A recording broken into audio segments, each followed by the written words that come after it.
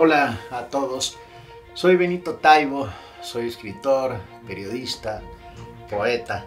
En el mes de septiembre dedicamos nuestra eticápsula a reflexionar sobre el principio de lealtad, un principio constitucional del servicio público.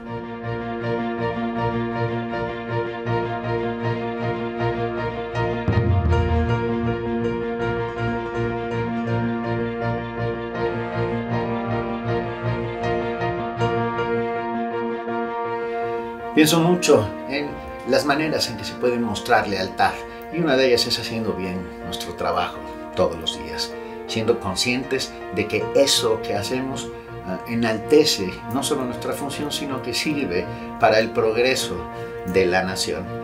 Ah, los funcionarios públicos hemos sido nombrados para servir al pueblo de México y Él es nuestro jefe, el pueblo de México es nuestro jefe y a él nos debemos en todos los sentidos. Cuando escucho la palabra lealtad vienen dos imágenes a mi cabeza, sin lugar a dudas. Una de ellas es Los Tres Mosqueteros, esa espléndida novela del siglo XIX, en donde se demuestra que la lealtad es el componente inaccesible, necesario de unión para lograr un fin.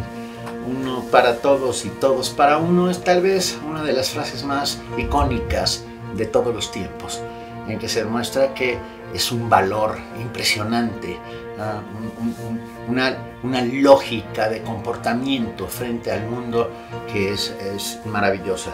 Y la segunda imagen tiene que ver con nuestra historia. Es este grupo de cadetes del colegio militar protegiendo a Francisco y Madero durante la decena trágica. Valientes, sin lugar a dudas, sabiendo que todo estaba en su contra.